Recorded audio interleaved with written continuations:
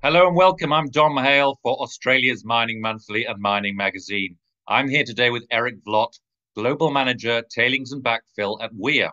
Weir creates innovative engineering solutions for minerals and mining technology markets. And today, Erik will share how Weir is helping reshape tailings management through innovation, integration, and sustainability. Erik, it's a pleasure to have you here today. Thanks for, for welcoming me and thanks for having me for the interview. Great stuff. So let's start by asking what is driving the shift towards coarser grinding and fines devoid tailings, and how do these changes align with broader sustainability and ESG goals?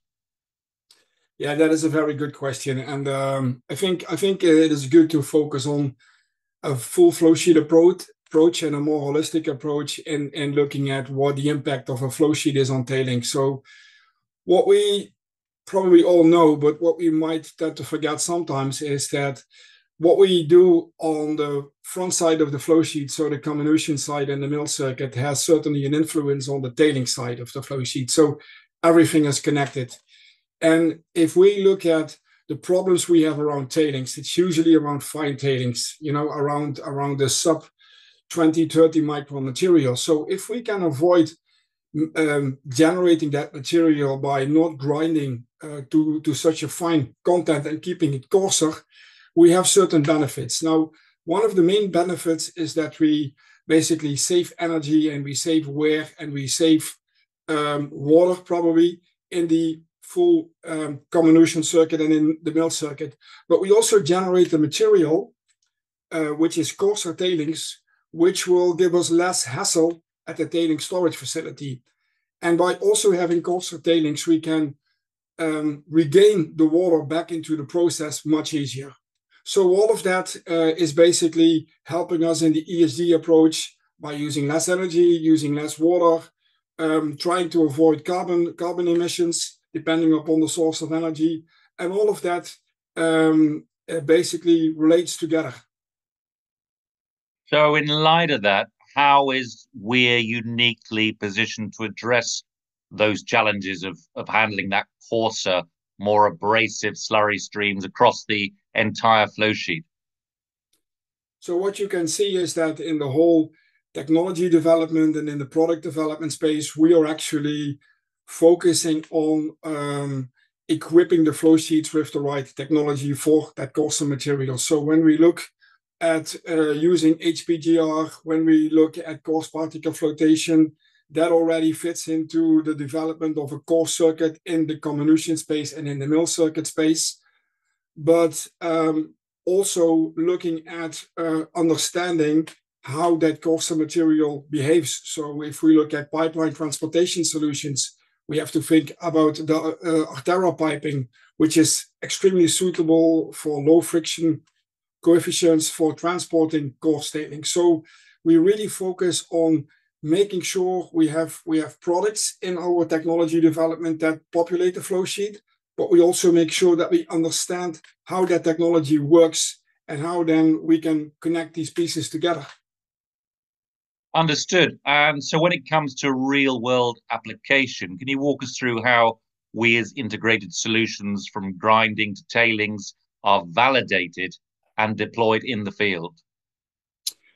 Yes, I can certainly do that. And a lot of that has to do with testing the materials up front. So we have the flow sheets already more or less ready as blueprints. So we can actually calculate the influence of what a flow sheet does. And if we, for example, then have a coarse grind and we take out this much tailings, we understand what the mass balance of a flow sheet is and how we can basically work with the cut sizes, how we can introduce cyclones to separate coarse and fine tailings from one another but all of that still needs to be validated in real life. So we have test centers around the world where we can either test the grindability of the material. We can also test how the material behaves in flotation with our partners.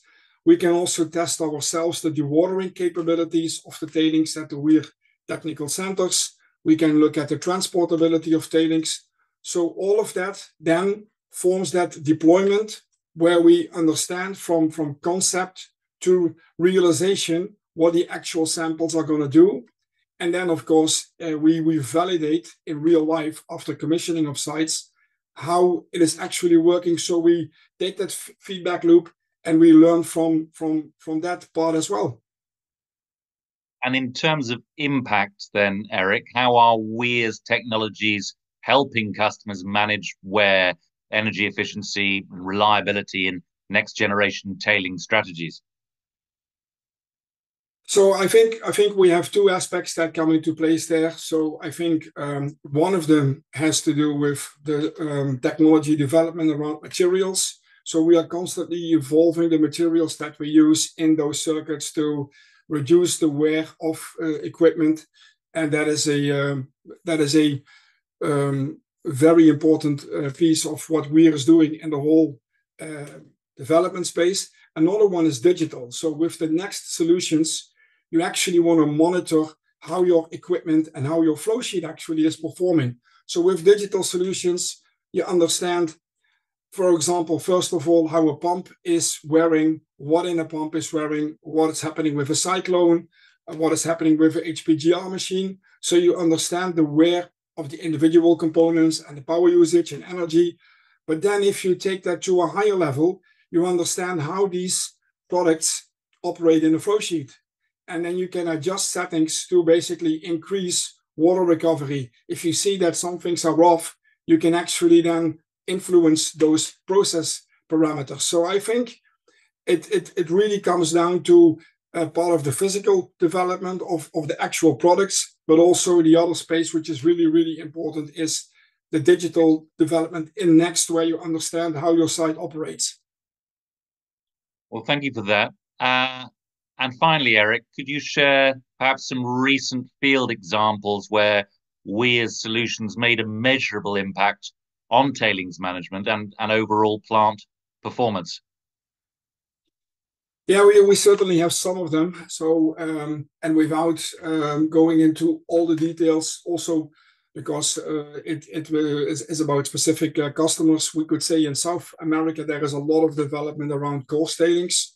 So um, we work on a, project in Mexico where actually the customer was looking at a filtration plant to handle their full tailings, where through the um, application of a cyclone technology and screen deck technology, we were able to reduce the amount of filter presses required for that site by 50%.